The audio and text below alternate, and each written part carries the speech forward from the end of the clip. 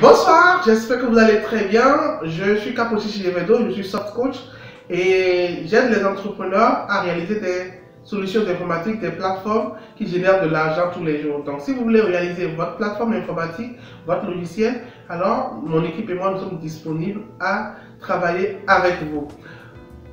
Dans cette vidéo, je vais parler essentiellement de, de filières universitaires qui ont attrait à l'informatique, mais en réalité qui ne sont pas des filières 100% informatiques.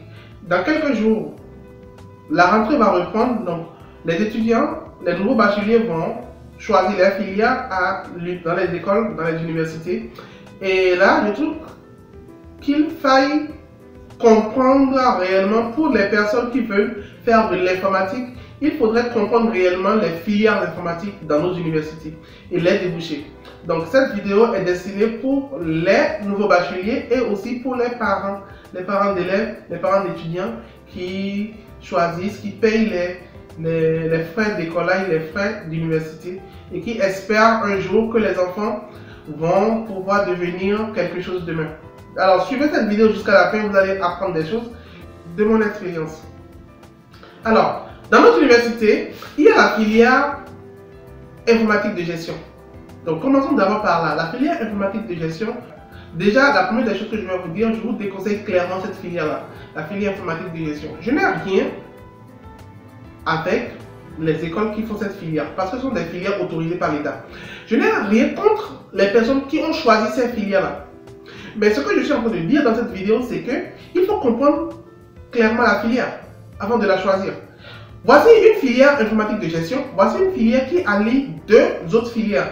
La filière allie informatique et gestion des entreprises, gestion commerciale, gestion comptable. Donc, si vous faites cette filière, vous n'allez pas sortir programmeur. Vous n'allez pas sortir développeur. Vous n'allez pas sortir développeur d'application ou développeur de logiciels. Non. Mais vous allez sortir, euh, je sais pas, quelqu'un qui est l'interface entre les développeurs et les employés. Donc, je donne un exemple très simple. Si vous travaillez dans un service public, donc vous travaillez chez l'État, en tant que personne qui est fait informatique de gestion, vous, vous serez la personne qui va expliquer à l'équipe de développement ce qui doit être développé. Et vous serez la personne qui, qui va former vos collègues à ce que l'équipe de développement a développé. Donc vous êtes l'interface, un peu comme si c'est vous qui expliquez à vos collègues le travail que les développeurs ont fait. Donc, en tant que développeur, il est très facile de discuter avec quelqu'un qui a fait informatique de gestion. Donc quand je vais dans une, euh, dans une entité, dans une entreprise, c'est très facile pour moi de discuter avec quelqu'un qui a fait informatique de gestion parce que la personne arrive à comprendre ce que je dis en tant qu'informaticien. Mais la personne ne peut pas se mettre maintenant à développer, à créer des logiciels, à créer des plateformes web, à être même webmaster, la personne ne sera pas. Pourquoi? Parce que l'université n'apprend pas ça. L'université va plutôt apprendre des choses sommaires. Donc, des choses sommaires sur le développement d'applications, l'algorithme et tout ça. Mais il va se concentrer sur les cours de gestion. Donc, les cours de gestion comptable, les cours de gestion d'entreprise. Mais à l'intérieur des, des, des, entreprises, quand une entreprise veut recruter du personnel, l'entreprise va dire, tiens, nous cherchons à recruter un informaticien. Donc l'entreprise s'attend à recruter un informaticien, développeur web, codeur, développeur, euh, programmeur, tout ce que vous voulez. Mais si vous, faites, si vous faites la filière informatique de gestion, vous, vous avez fait la généralité, vous avez fait deux filières, c'est-à-dire informatique et gestion, et vous êtes dans la généralité. Donc, quand vous êtes recruté à l'intérieur d'une entreprise, l'entreprise va vous demander de coder par exemple de réaliser des programmes, ce que vous n'avez pas appris à l'école ou ce que vous avez survolé à l'école. Vous n'avez pas été dans la spécialité à l'école. D'accord? Donc vous êtes formé comme des généralistes ou comme des personnes qui doivent servir d'interface. Alors, je déconseille clairement cette filière si vous voulez être un programmeur demain, si vous voulez être un développeur web ou vous voulez, vous voulez être euh, un développeur, un programmeur de logiciels, d'applications. Parce que vous n'allez pas pouvoir euh, programmer si vous faites cette filière-là, la filière informatique de gestion. Je reçois plusieurs personnes en stage dans notre entreprise et aussi des personnes avec qui je discute qui ont fait informatique de gestion, mais je vous assure que ces personnes ne, maîtrisent vraiment pas le développement, le codage informatique. Donc si vous voulez faire du codage informatique, alors la filière informatique de gestion n'est pas pour vous.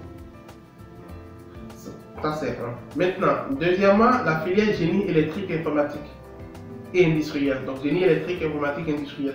Cette filière aussi, c'est pareil que informatique de gestion. C'est fait partie des filières où on assemble plusieurs filières. Donc, dans cette filière, vous allez apprendre l'électronique, vous allez apprendre l'électricité et vous allez apprendre l'informatique.